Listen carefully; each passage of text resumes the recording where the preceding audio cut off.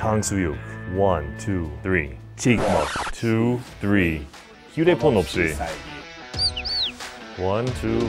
다르다. 네. 치료도 다르고 무슨 상담인지 다르고 근데 치료 똑같을 수 있어. 음. 그런가? 네, 안녕하세요. 저는 정신건강학과 전문의 양재진입니다. 정신과 의사 양재웅입니다.